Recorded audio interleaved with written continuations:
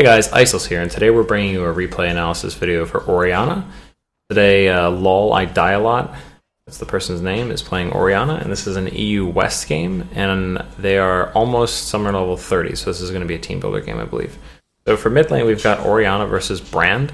Basically, in this matchup, the Orianna player wants to try to dodge Brand pillars. Like that's the main thing, is uh, pillar of flame. That's going to be his main source of damage. He's probably going to max that first. Got pretty good range, and it goes through minions, so that's the main goal here. Um, regarding your skill build, I would get your Q at level 1, not the shield, because it helps for last hitting. Because if you're about to miss a minion, you can throw out your Q and still get it. Now, if you're against like a Yasuo or something, or a Zed, I could see taking shield at level 1, but not a Brand because he's ranged and he doesn't really have any, you know, consistent harass at level 1 especially. So you're doing pretty good. You've got um, 4 CS up on Brand. I like that you warded there. Uh, Sejuani's on that side. So I'd like to see... Okay, you're just trying to push the wave. Okay, good. You got a dissonance on him. Level 1 dissonance isn't that much damage, but it's pretty much free harass, so that's good. At this point, I'd like to see you get this into tower, just because this position here is not great. It's because you're so far up. Uh, basically, if you're past the middle of the lane, you're at risk for getting ganked and you want to push this into the tower and kind of reset it. So that's good. um, definitely, uh, I would say try to uh, use your attack move ability to farm a little bit more because it is tough to last hit with Orianna early. Even though she does have Clockwork Windup, it can still be tough to last hit for any AP character mid. So you're doing fine on CS right now compared to Brand, which is the main thing. You always want to compare your arm to your opponent. That was really good. You got a full combo on him. Um, Brand has one health pot and one mana pots, and you've got two health pots. So I would like to see maybe, since your wave is so pushed up, like I would like to see you probably try to trade with Brand a little bit more because he has a lot less health than you, and you still have two health potions, and your auto attacks are super strong. So maybe like to see you walk up and you know QW and try to get some auto attacks in, and even if you take damage, it doesn't really matter because he only has one health potion, and you have such a big advantage. So that's that's the way you can basically use your health pool as a resource. Like if you're at full health, and try to force a trade just to make them lower health. And see now this is the good reason that your wave is pushed back because um, Sejuani's looking to gank you. So this is the reason why I said earlier, like you want to make sure the wave is on your side of the map if you're not like going aggressive, because you're going to get ganked. So your ward covered you for that time period, and now um, the fact that you let Brand push covered you here. So I'm just going to speed this up a little bit. Nunu's probably going to gank top, so you're going to be left to your own devices here. I like that you haven't been hit with that many pillars. Um, I, I like that you're using your QW and Brand. Um, since your W is only rank one, it costs a lot of mana. It costs like 70, yeah, 70 mana, and it you're only getting 102 damage out of it. Whereas command attack is much more mana efficient, so you don't even have to use dissonance. Okay, there you go. You got Nunu coming up. Okay, this should be pretty good. Ah, yeah. So um, I think you could have moved up a little bit faster there, just when you saw Nunu coming and made Brand burn a flash for sure. But back to the trading, basically, like you don't even have to use dissonance. You just want to use command attack and then your auto attacks to uh, force some trades. And you also have your shield. So you want to try to use dissonance sparingly until it's at least rank two because it's not very um, mana efficient, like I said. So Brand's pushing, but you have enough money to go back right now, and you probably should, yeah. So you're gonna go back. I'm gonna speed this up. You got a chalice. That's a good choice. Gives you magic resist against Brand and gives you the mana regen you want. Morellonomicon is also super popular, but I think since you're playing against the magic damage lane, the Chalice is a good choice. And you're against the magic damage jungler too, so it's even doubly effective, I believe.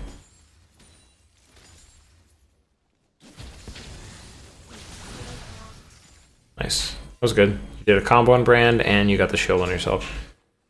So Brand has no potions, so I and he also has blue buff. So I'd be playing really aggressively here. Like basically, what you can do is just wait until Brand goes up to pillar and QW him. Basically, I'd like to see you use your shield right here too. When you're just tanking the minions like that, and you have a ton of mana and a chalice, just use your shield to prevent minions from dealing damage to you. It's pretty efficient. Just helps you keep your health topped off, and you have chalice, so it doesn't matter if you spend mana. Um, but yeah, right like right now, this is a really good opportunity to well, good opportunity for your lane, but Sejuani's here, so it's actually really good that you're not going aggressive right now. Um, but it's pretty tempting too because Brand has less health than you. You still have lots of potions. And You're still getting some poke on him. That's pretty good. But he's trying to bait you right now. Um, your positioning is great. They have the entire river warded, and she's just sitting here. Um, so you've gotten hit by a few pillars. You actually have not got hit by that many pillars, but that's basically like, okay. Oh, okay, that's okay. Um, you tried to go for the shockwave, but you know Brand was too far away. But you got Brand's flash, so that's really good.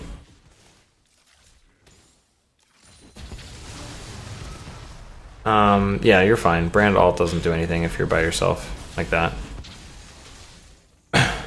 Yeah, going back here is fine, I think. So you're both out of your ults. Brand has Ignite. Okay, you're helping Nunu here. Okay, go back to lane. Um, so Brand has Ignite and you have Exhaust. So if you exhaust Brand when his ult comes out, or Pillar, like that's pretty effective. And then you can basically just sit there and auto attack him a lot with Clockwork Windup. You probably win trades. Now that you've got two ranks in Dissonance, you can use that a little bit more uh, frequently, I would say. And since Brand has no flash, I would be looking for opportunities to walk up and use your QW combo. Like right there would have been a good time because the ball was already down. Could have hit him with it. Uh, going to do dragon, excellent. So we get a free dragon here. Uh, oh no, I'm sorry, that was their team. You stopped them from doing dragon. Good. Now you're coming back in. So that was a double shockwave, and your Nunu got dragon. That was really good. So good shockwave right there. Nunu got Dragon and he flashed out. So yeah, I mean you should just back now.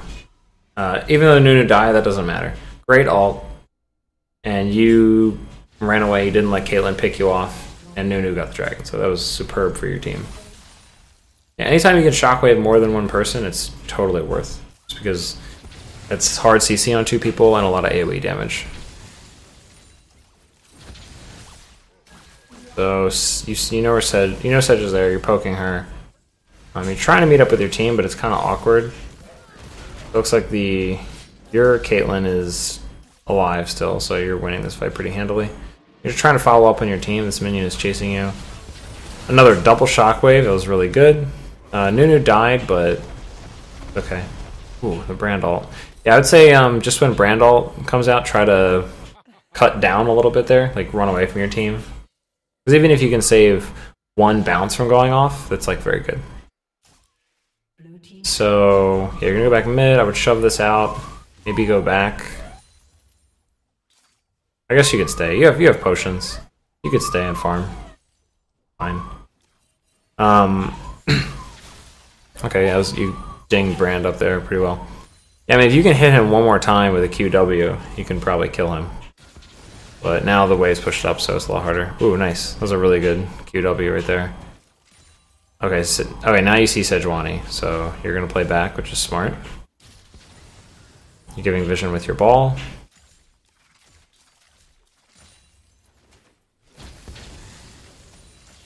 Okay, so there's a fight going on bot.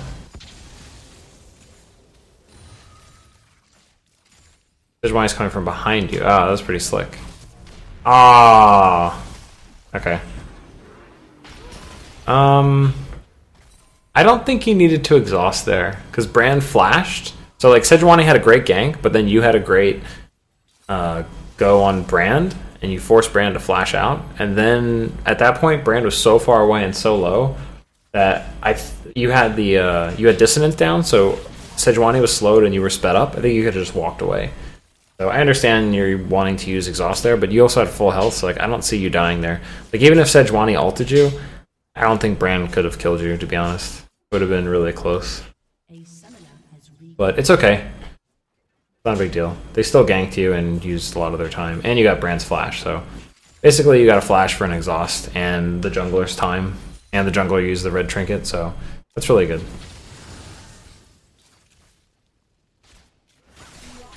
Okay, so they want mid tower now, but nice job. Should be able to defend this. Okay, yeah, good job last hitting with your Q and your auto attack at the same time. Got another dragon. So Sejuani's going on Cho, and you're helping him out. okay, you got just Brand there, but that's okay. You should be fine here, I think. Yeah. Then you just want to try shield Cho. Your team is like doing blue. So this is kind of unfortunate because they have four mid, and they're just going to take this tower. and you had two people. I don't know why they had two people doing blue buff. Really confusing to me. Um, and Caitlyn was bot, but there's nothing you could do about that really. Um, the only thing I would have said is just like maybe back up and don't try to fight 2v4, but you're under your tower, so like you know, it's not like it was bad or anything. You're just trying to defend the tower, which is what I would have done. So I would have uh, thrown out your Cho'Gath at your ball, but I would have thrown out the uh, attack dissonance like a lot earlier. You probably could have hit two or three people with it, I think. So that was just a little bit of an opportunity for that. Now you have Shockwave. I think you should push up here. You have Shockwave and you have full health with your team, and Cho'Gath has a ton of health. He's missing a lot of health, but he has still a bunch of health, so... We're just kind of hanging out mid. Your Nunu is clearing wards, I think. So he's going to group up with you. I would try to use your shield a little bit more. Um, like on your Cho'Gath and your or your uh, Caitlyn, because they keep taking poke. Uh, also, another thing is I wouldn't I wouldn't be maxing your shield second. I'd be maxing dissonance because that's your AOE nuke. That's your you know slow, your speed buff for your team. Um, I think it's better just to leave shield at one point for most of the game.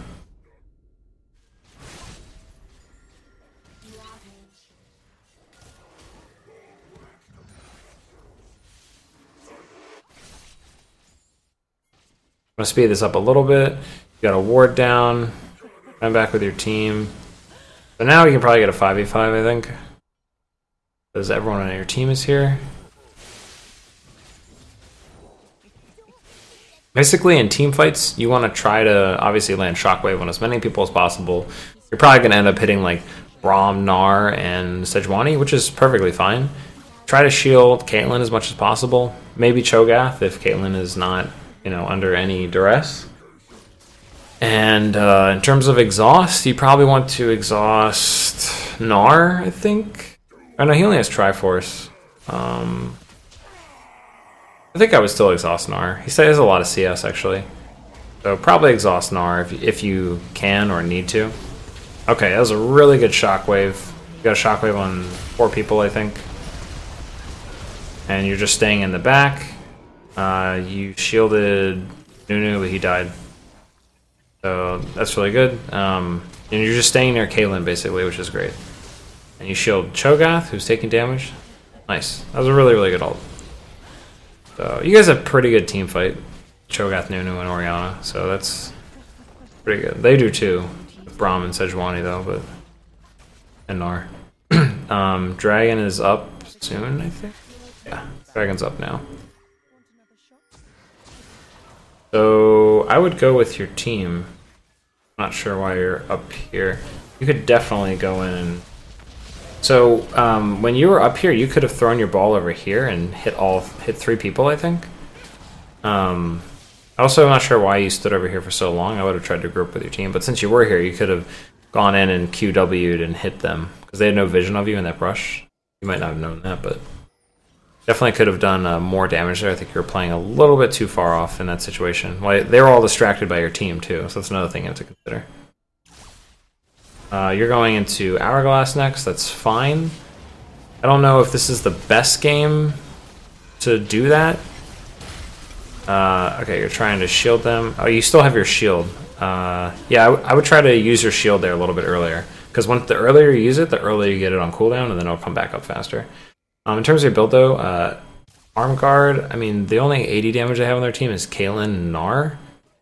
So, like, I probably would have gone for Rabadons in this case, because there's just, mean, they have no, like, AD assassin that's going to get on you, really. Hourglass is a great item. I just don't think you need it second, right in this case, against this team. I would say. Speed this up a little bit. You're just trying to group with your team, shielding Nunu, and now you're defending the inner tower. So you want to be trying to clear minions a little bit. So you're just using your shield and speeding up Nunu, but you want to try to clear minions. Okay, so now the fight starts. You got Shockwave on Gnar and Sedge. That's very good. And with this Gnar, yeah, that's that's rough. Um, you got a pretty good ult. Uh, I would say that um, the only thing you really could have done differently would probably be like Hourglass, the uh, Sejuani ult, and then as soon as you come out, then you could auto attack, and you would have taken a little less damage, but you would have been out of the fight for the same time, so it's not that big of a deal, really. Um, your team just kind of went a little bit too ham, and your Caitlyn was too far up, but you were trying to shield her, so. I think uh, that you're putting points in shield for this game specifically, where your Caitlyn is so far up all the time, is is okay. You're gonna do a lot less damage, but maybe Caitlyn will stay alive longer. So, okay, so you're trying to help. You got a double shockwave, really nice. Um, okay, good. See, I like that you're finally using some auto attacks. I don't see you use auto attacks that much in team fights, and I think you're missing out on a lot of damage because Ori's passive is a lot of damage, but you have to use your auto attacks, obviously.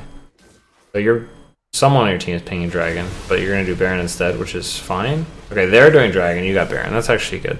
Getting Baron is better than getting Dragon most of the time. Um,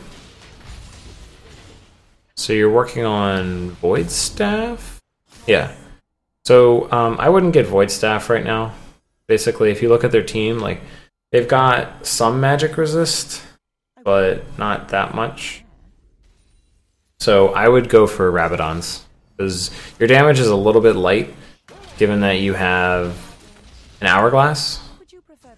So I would go for Rabadons right now, and then Void Staff fourth for your current build. So getting Void Staff is great, but you also want base damage, and also um, more AP makes your shield bigger. So that's a consideration for Orianna. Is a spell pen is uh, very very slightly inefficient on her. Um, it still will make your shield do damage because it has a damage ratio, but you, you want that AP first to scale with all your abilities and your shield size. So we're just sieging mid now. Um, unfortunately, you don't have Baron anymore, but that's okay. You're just trying to shield. They have really good poke actually with Brand, Caitlyn, and Gnar to a degree. So um, yeah, your team fight is actually pretty low on damage because you have a Zilean and a Nunu, and um, the fact that you're building a little bit defensively right now. You don't have as much AP as you could, but you still have like potential for team fights and stuff. It just depends on how things go. They're fighting Nunu and you're just shielding him. Okay, so you only shockwave Braum, but you're trying to help Nunu, so I understand. Nunu's build is kind of not that great, and he's taking a lot of damage. So let's say right here, you're trying to shield Cho'Gath, I think, and... Okay, so you're focusing a little too much on the champions. Um, you just want to use your abilities to clear the minion wave, because the faster the minion wave dies, the faster the turret can attack them if they're standing in range. And also Killing the minions means your tower takes less damage and means it'll stay up longer. That's really important. So I'm going to speed this up a little bit. Braum is disconnected. You're just shoving out bot. Uh, guys are trying to get vision. So you want to rotate back to your tower right now. Okay, you got a triple shockwave. That was really good. You avoided that the uh, but you're also not auto attacking here, right? So you're missing out on a lot of damage. You could have got like six plus auto attacks in there. Um, you also could be auto attacking Braum there. Instead of just running away, you can auto attack and move, and auto attack and move, and be doing a lot of damage to him. Like, let's look at Clockwork Windup. No, it doesn't actually say here. Um, but I know it does quite a bit of damage on top of your basic auto attacks. If it was any other mage, I would say it doesn't matter, but since you're Orianna, you want to be... You almost have to play kind of like an ADC. Like, that's actually why I like playing Orianna, because she rewards you for attack moving, just like if you were playing an ADC. So that's a big part of her kit, and it's a lot of damage. That's one thing you'll want to practice. There you go, you auto-attacked a lot there. Now we're chasing. Um, so you guys are chasing Brand. This isn't your fault, but like your team shouldn't be chasing Brand. Your team should be. Uh, so your team should be pushing. Okay, so you got that right there. Though you were running away from just Sejuani when it was like one. You were like four v one. You want to move up and start auto attacking her. It's like a definitely important. You're gonna get another free Baron. Hopefully you guys will push with this. When you get Baron, you want to try to push. You don't want a team fight. So you want to, you know, try to push and use the passive that makes your minion stronger as uh, often as you possibly can. I like that you're at least mid. Um, you could have used your shield there. Uh, that would have mitigated a chunk of that damage. So next time, try to look for that. If Caitlyn ults you, just shield yourself and try to save yourself some damage. But her ultimate is on cooldown now, so that's good. Um, I'd like to see you up kind of near the front a little bit more, trying to land QWs, at least on the minions. And looking for harass opportunities. Okay, so they got Dragon. Now, let's look at your positioning here. You're staying near Caitlyn. I like this. Okay, you only got a one-man Shockwave. Um, you want to wait until the Hourglass is done before you do that? Uh, yeah, the uh, brand ult hurts a lot. You also had your shield, I'm pretty sure. So it was still a good shockwave because like you zone, you got an R and you basically forced Brand to Zhonya's. But um, unfortunately, since you guys fought instead of just pushing, uh, you kind of didn't maximize the use of the Baron buff. So that's something. Oh, sorry, I was going too fast there. Okay. So again, you're not auto attacking here at all. So that's a lot of damage lost. So that was a really good hourglass. And you flashed. You got only one person shockwave that time. But yeah, since you had hourglass and Zilean ulted you, I would have liked to see you. I would have liked to see you auto attack more. So that's just a, definitely a something that you want to try to think about. Your build is really good. I would have just switched the. I would basically switch the void staff to last and the, the hat to first. So hat, hourglass, void staff, probably in that order for this game.